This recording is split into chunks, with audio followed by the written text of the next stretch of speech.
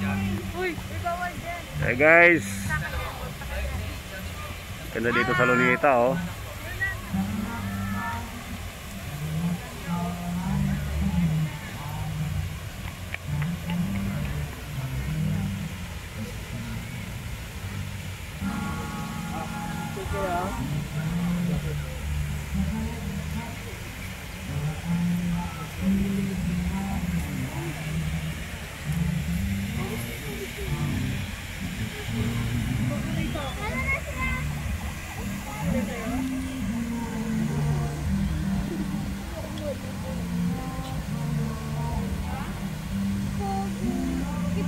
Mm-hmm.